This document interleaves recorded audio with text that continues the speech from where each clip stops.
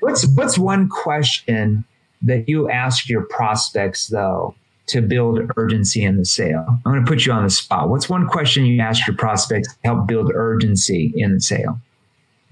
Well, I say, you know, if you don't make this change now, if you're not willing, you know, if you, if you don't think it's the right time now, when will it when will it be? Like what has to happen in your business to actually get you to a point where this would make sense? If it doesn't make sense now when we're having this conversation, when would it make sense? And what do they typically say to that? Like, well, every so often you'll get somebody who like wants to, you know, see like hammer you a little bit and be like, well, you know, when I lose X amount of dollars, right. I'm like, well, what if you didn't have to? Like, what if there was a way that you could get what without having to put yourself through that pain? Yeah. Unless you like pain. I mean, some people do, some people don't. But what if there was a way that yeah. you could get what you wanted now without having to go down that road? Yeah. So if there, if there was a way you could get what you wanted without having to go through all that pain, is that something that would would it make sense to at least investigate going down that road now? What do you think psychologically that does in their mind when you ask that question? You know, it makes them own it. It makes them own their problem rather than me trying to solve. I, I never use I. I just use the word I, but I don't use the word I when I'm talking to a prospect. So if there was a way you could, because yeah. you can do it, If you don't have to use me. Yeah you could use somebody else. You could you could do it on your own, whatever it is you want to do. That's totally your decision. But if there was a yeah. way that you could get there, would it be worth having a conversation? Uh, and, and 95% of the people are going to open up to that, right? Because they, they're viewing you as like, oh, this person's not here to stuff their solution down their throat. Maybe they have something that really can help me. That's the difference in the way of thinking. Yeah, and I would say, well, I'm not saying that there is. I'm just saying if there were, like, I, I don't know yet. Yeah, so it's like this. so if if there was a way that you could have, you know, repeat back what they said they wanted. If there was a way that you could have, you know, X and, and Y and Z with your space, and I'm not saying that that you could yet, but let's pretend that you could, you know, X and Y and Z. Is is, is that something that would be appropriate to have a conversation around? you know, and people know, 100% right.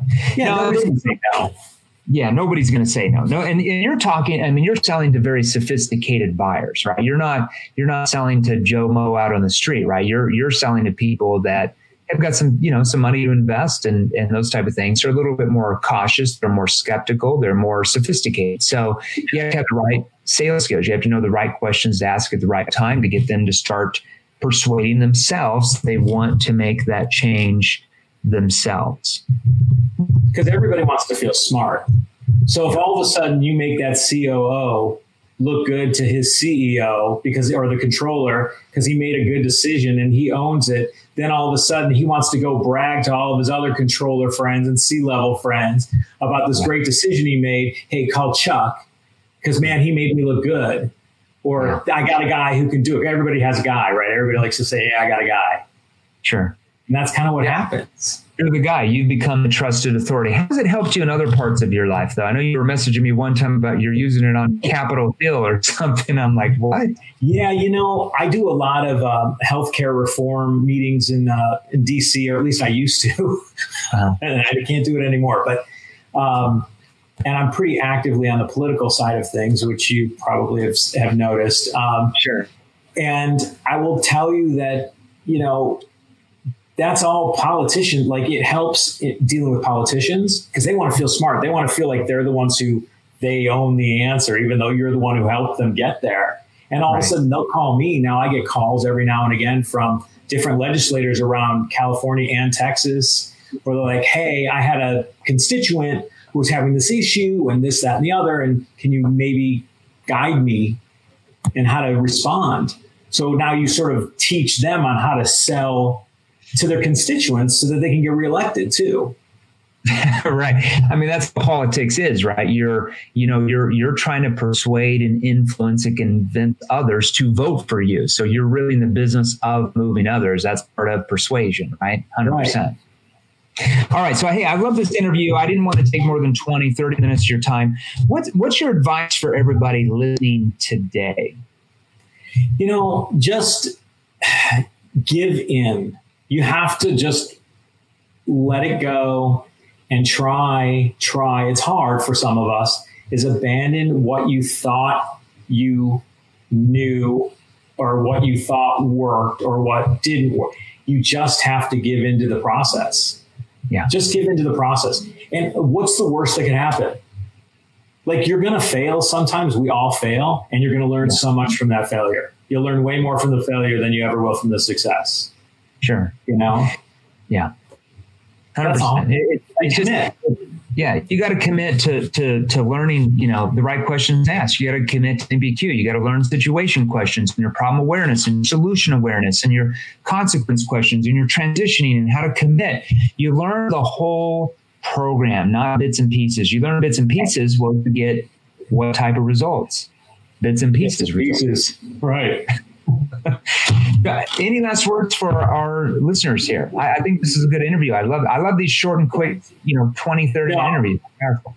I mean, you guys, number one, Jeremy is one of the most generous like gurus that I've ever come in contact. He's approachable.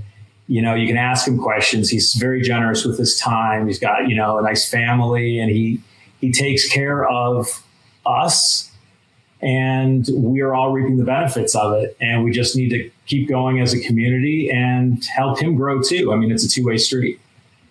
No, no, you're good. You're good. We've uh, we turn away a lot of people that join this group because we're only looking for like specific people in this group. So I love it. So um, Chuck, thanks for being on, and uh, look forward to uh, have you out here again, man. And I and I love those. Uh, I love those testimonies. You're going to post about your. You need to post in your in the group your pool that was just built from from all the commissions you're making now from the sales training. yeah, I mean, seriously, I I do. I, I go, hey, how did you build that pool? Oh, that was Jeremy Miner helped me build that. Send me a picture of that a while back on on my uh, private Facebook. You know, hey, thanks for the pool, man. I thought that was awesome, dude. All right, love it. Hey guys, if you enjoy these, here's another you can watch right over here, right over here. Join our free Sales Revolution group. Click the link below, join us, and we're gonna help you. Thanks for watching. We'll see you real soon.